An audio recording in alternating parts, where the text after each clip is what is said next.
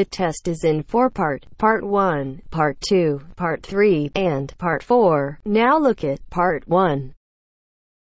Part 1. You will hear a telephone conversation between a customer and an overseas shipping agent. First, you have some time to look at questions 1 to 8.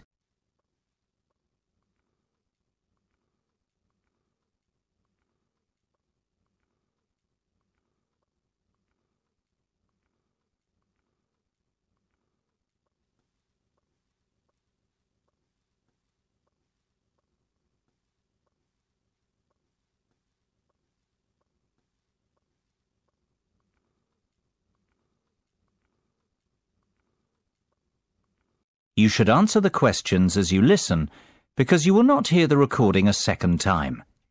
Listen carefully and answer questions 1 to 8. Good afternoon, Denham Shipping. How can I be of service? Well, I wish to inquire about sending a container of personal items from the UK to Ireland. No problem. Would you like me to give you an estimate of the cost? Yes, please. Well, first of all, may I take your details? Of course. My name's Tim Lafferty. Could you spell your surname for me, please, Tim? Yes, it's Lafferty. L A F F E R T Y. Thank you, Tim. Now, where would you like us to pick your container up from? My university, if possible. OK. Let me make a note of the address. It's Abbeyfield University. Is that A B B E Y F I E L D? That's right. Park Street, Brighton. Perfect. And may I take down your postcode too? It's BR8 9P3. Great. Thank you, Tim. Have you the container's measurements? I do. It's approximately 2.5 metres long by 1.25 metres wide. I see. Quite a big one then. Indeed. And the height? I make it a metre and 20 centimetres deep. So that's 2.5 by 1.25 by 1.2. Right. And what will actually be in the box, Tim? Oh, mostly old uni books. OK. And some music albums. Anything else? Yes, a little bit of stationery. I see. And could you put an estimate on the value of the items? The books are quite valuable. They're worth around £1,800. The music albums, maybe half that, say £900. And you can put the stationery down as £300. Before listening to the rest of the conversation, you have some time to look at questions 9 and 10.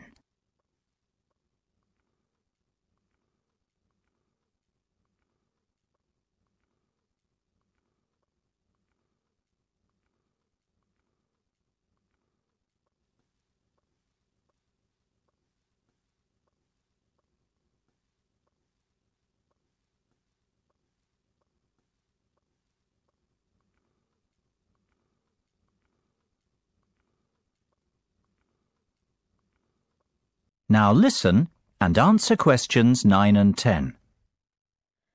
OK. And will you be purchasing contents cover from us also? Uh, I'm not sure what you mean. Sorry, let me explain.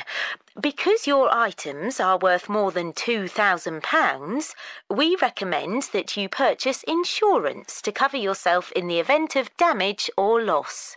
Makes sense. What are my options? Well, we offer three insurance deals the premium rate, standard rate, and economy rate ones.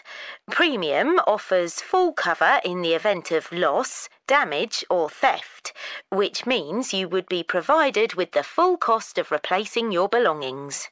What about standard and economy? Standard will give you today's value, the second-hand value of your belongings, and economy provides you with a fixed payment of £1,000 in the event of loss, damage or theft. Well, I can afford to live without those books, to be honest. So just give me the cheapest option. We recommend standard cover for all our customers. No, thank you. That won't be necessary. The cheapest option will be fine. No problem. And one last thing, will you be needing delivery at your office, at your house, or do you intend to pick up your container at the port? Home delivery would suit me best, I think. We'll get that process for you. That is the end of part one. You now have half a minute to check your answers.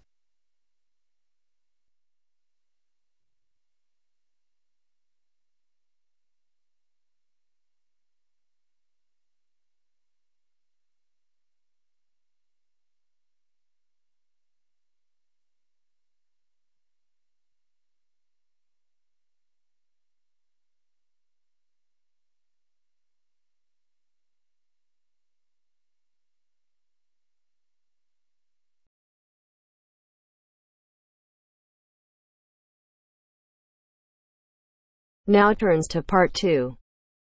Part 2. You will hear a discussion between three people in a university tutorial. In the first part of the discussion, they're talking about city traffic and the motor car. First, look at questions 11 to 14.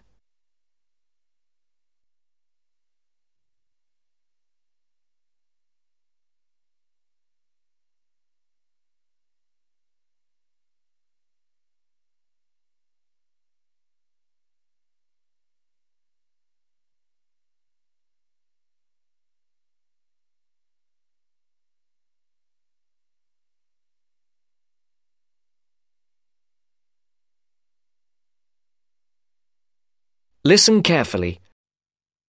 We're very pleased to welcome Professor Isaac Nebworth to our tutorial group today. And he's come to share one of his pet passions with us city traffic and our Western dependence on the motor car. I believe questions are quite welcome throughout. Thank you. Well, I know you're all very familiar with the superhighway here in Melbourne. But do superhighways automatically lead to super wealth, as our politicians would have us believe? I think not. Can you give us an example of what you mean exactly? Sure. Well, by continuing to encourage this dependence on the motor car, we simply create more congestion and more urban sprawl. And you can see that here in Melbourne, right under your nose. Excuse me, I would just like to say that I feel the sprawl is part of the city. The freeways mean people can enjoy the benefits of living away from the centre on larger blocks with gardens, but still be able to drive back into the city centre for work or entertainment. Well, I'm not convinced that people want to do that. And is our money being well spent? It may be okay for you now, but come back to me in five years' time. Let's take CityLink, for example, the new freeway here in Melbourne. Well, I use the freeway all the time. I think it's great. Ah, yes, but it cost $2 billion to build, and you could have gotten 10 times the value by putting the money into public transport. If you give the automobile road space, it will fill that space, and you'll soon find you'll be crawling along your CityLink. But surely you cannot simply blame the car.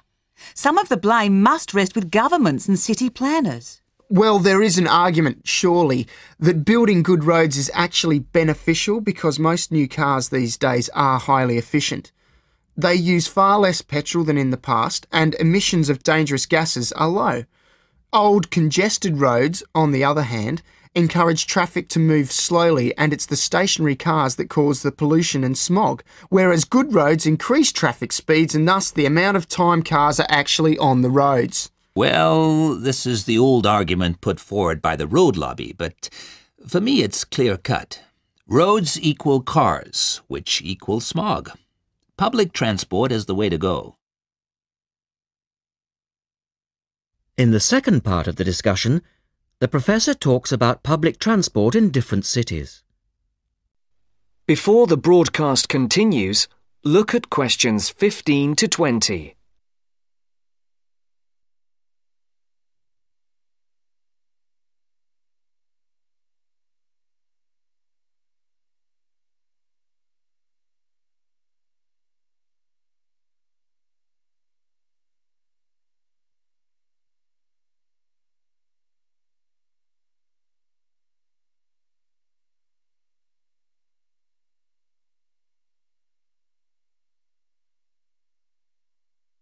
You will now listen to the second part of the talk.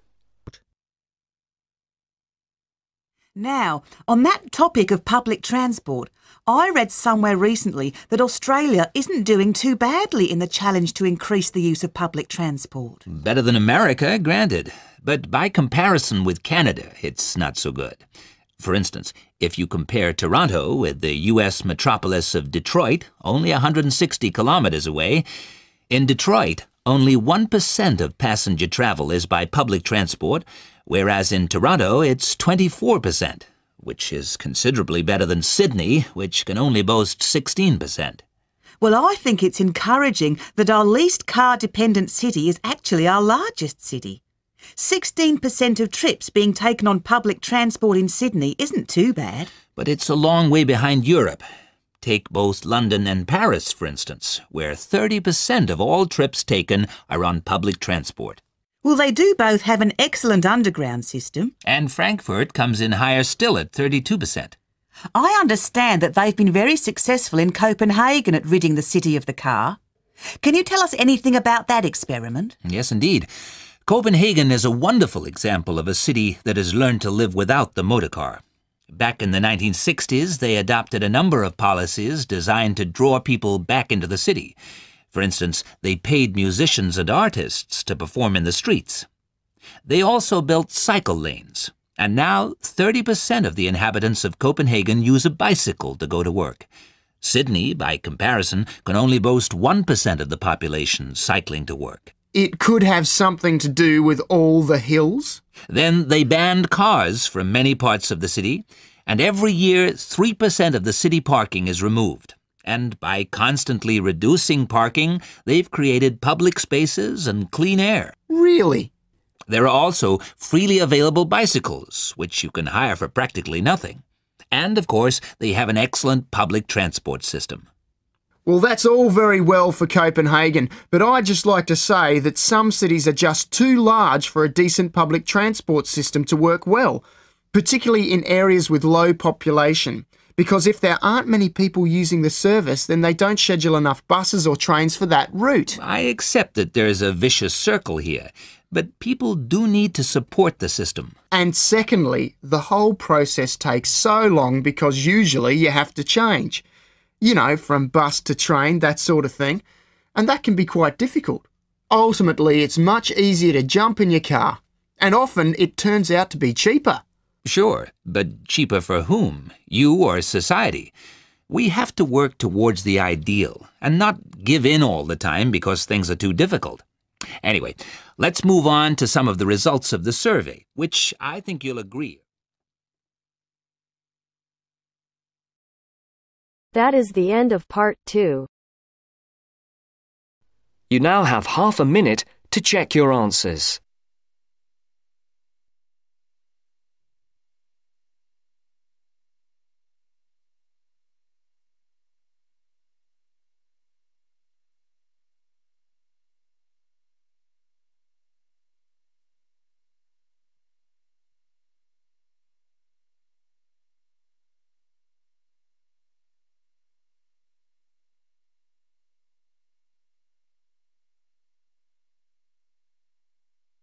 Now turns to part 3.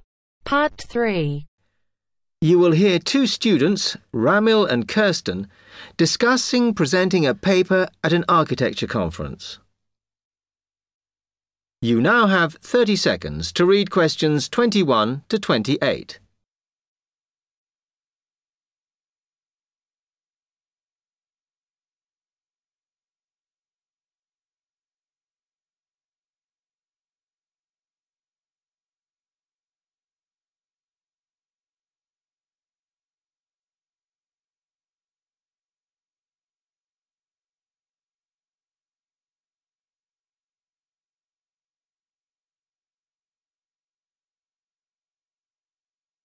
Hi, Kirsten.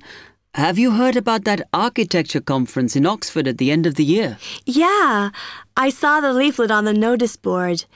As it's my final year, I ought to try giving a paper, but I've got no idea how to go about it. Oh, I think you should go for it. I did one last year. It's quite straightforward. First of all, you need to see what the conference themes are. You know, what topics they're covering. Mm. You can do that by looking it up on the website. You need to submit a paper that falls into one of the categories they give you. Oh, that may give me some ideas. Then, while you're doing that, you should also have a look at the information on how to submit your paper. Mm. The rules, if you like, such as the length. It's important you follow those. I see. And then I suppose the next stage is to start writing it up. Mm-hmm. I'd like to use it as an opportunity to propose some future work, but I understand it must be based on current work. Still, there's plenty to choose from. It makes sense to do something that I'm more familiar with. Yes, and the other thing is, when you've written it up, then go back and look at your data carefully and make certain that you've presented it in a format that is standard for your subject. Remember, people have to absorb information very quickly while they're listening. Don't make it too complicated. Okay, well, I reckon that'll take me about a month to get that sorted. Then the next thing I have to do, I guess, before I send it off to the conference organizer, is give the whole thing to the events officer so that he can look through it and see if it all makes sense and is okay. Yeah. Remember to warn him that it's en route so he can fit it into his schedule. Oh. Then you're done, really. All you have to do after that is to go through it and sort out any changes you need to make. Then finally, you can submit it. You can do that online. Phew, good. Then I just wait to hear, I suppose. How long does that take? Mm, it depends, but usually about six weeks. Oh. When you hear if your paper has been accepted, then at that stage, it's worth giving them a list of any technical things you need when you actually give the talk. Mm-hmm. A screen or video players or that sort of thing. Okay, but that's a long way off. Hmm. and I know that if my paper is accepted, then at that stage, I have to give them a short text about myself and my academic background so that they can put it in the brochure. Famous at last. yeah. You now have 15 seconds to read questions 29 to 30.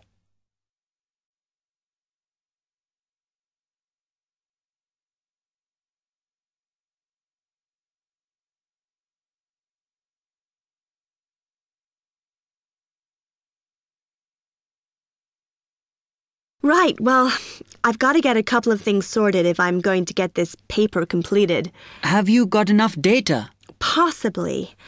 I'd like to reinforce some of it, though, so I thought I'd send out some more questionnaires. I was looking at that thesis that Angela wrote last year, and she said you need a sample of over a hundred to be sure of your results. I think some of this year's postgraduates are doing some of the same stuff as you on buildings. Why don't you talk to them? Uh, I'll end up getting confused. It would be more useful for me to actually go out to that site by the rail bridge to see how they're building the new factory. Oh. I managed to get hold of Professor Barnett at London University, and he said I should go out and take pictures. I'm pretty busy, but I'll have to make time. Anyway, what about you? What are your plans?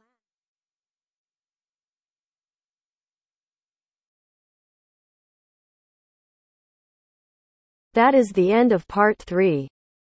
You now have half a minute to check your answers.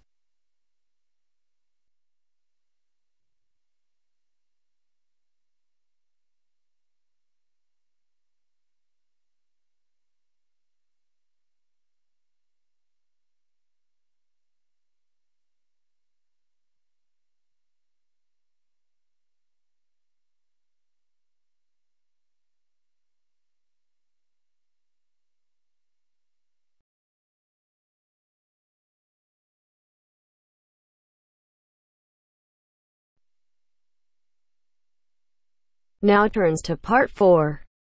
Part 4. A second session on interview skills.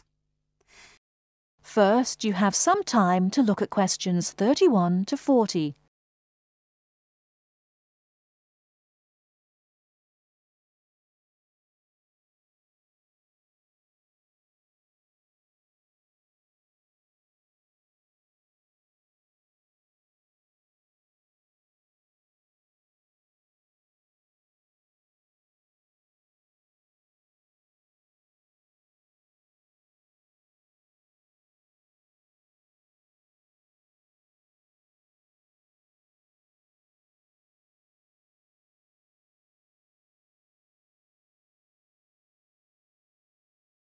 Now listen carefully and answer questions 31 to 40. Hello there, everyone, and welcome to our second session on interview skills. Now, we have already looked at what to say in the interview and what to wear. So let's consider non-verbal behaviour, or as it is more often called, body language. Believe it or not, Research has shown that this is what makes the strongest impression on people we meet. Frequent eye contact is one aspect of body language which goes down very well with interviewers and creates a good impression. Looking at people means that you're sure of yourself and confident. In fact, one famous car company even makes a note of the level of eye contact candidates make during their recruitment process for this very reason. So it is very important to maintain eye contact but be careful how you do it. Avoid staring, as this is a sign of hostility. But avoiding eye contact altogether and looking away or down is even worse. But the general message is maintain that eye contact. Believe me, the eyes have it. Now, along with eye contact, smiling is one of the other important non-verbal actions which say more to the interviewer than any answers you give. A good way to create a good impression during the first few minutes of your interview is to smile warmly when you meet the person or people who will be interviewing you. It shows them that you are relaxed. Facial scanning takes a triangular route, from the eyes down to the mouth and back to the eyes. Even when you aren't speaking, an interviewer will be noticing your mouth, so give a relaxed smile whenever you feel it is appropriate. Now, not surprisingly, interviewers pay most attention to a person's face or head during an interview, and they certainly pick up a lot on what they see. Researchers have identified nodding as going down very well with interviewers. This simple gesture shows that you are listening and paying attention. Another useful head gesture is to tilt your head slightly to one side. Now, this reinforces that you are listening well to what the interviewer is saying to you. However, tilting your head back isn't such a good idea, as this signals arrogance. And drooping your head forward indicates that you are lacking in confidence. And as we all know, that is exactly the opposite of what an interviewer wants to see. So the message is mind your head. Now, posture, or the way that you carry yourself, is an important area of body language to be aware of. And it is one of the first body language signals that interviewers read as you enter a room. Posture also matters when you're sitting down. A well-supported position, with your shoulders square and sitting full back on the chair, will give the impression that you are confident, which is just what the interviewer wants to see. I once interviewed a candidate who perched right on the edge of her chair throughout. I kept feeling that she was about to run out of the room in terror. However, occasionally leaning forward slightly when the interviewer is speaking reinforces the message that you are keen and interested, as well as showing the interviewer that you're actually listening to what they are saying. But don't overdo it by leaning too far forward. That can be a bit distracting for the interviewer. Now, we all tend to use our hands to gesture, especially when we are explaining something or as we become involved in what we are saying. This is fine. It shows that we are keen and perhaps even excited about something. However, what can work against someone at an interview is when they fidget. This kind of moving about is, of course, what we do when we are nervous, and fidgeting can be very distracting to watch. So, if this is a problem for you when you get nervous, it is a good idea to practice sitting with your hands gently resting in your lap or on the arms of the chair. Try not to fold your arms though, as this tends to look uncomfortable or hostile. But whatever movements you make, be careful with your hands. They need to be kept well away from your mouth, head, or face. In fact, experts say that when a hand flies up to or over a person's mouth, it implies that the person is worried or wound up about something. For most of us, staying calm in an interview situation is a challenge, so putting in a bit of practice in advance will help. So, to end with, here are a couple of suggestions on how to improve our body language. A good idea is to choose a role model, such as an actor or fictional character, or a public figure or someone you know. Then sit calmly and imagine that you are this person. Now, other countries have different body language signals. So remember that if you are being interviewed abroad, you may want to check if there are any special gestures to avoid. It's also a good idea to get used to reading body language signals. You can do this by simply watching how people interact in public places, such as on the streets or in restaurants. And finally, when people have struck up a rapport, it is reflected through the natural mirroring of each other's body language movements. So you can use this to your advantage by occasionally mirroring the interviewer's own movements. For example, if they lean over to one side, you can do the same a few seconds later. It helps to create a special effect known as similar to me. But don't do it too often or the interviewer will notice. Now, any questions before we move on to interview listening skills? That is the end of part 4. You now have half a minute to check your answers.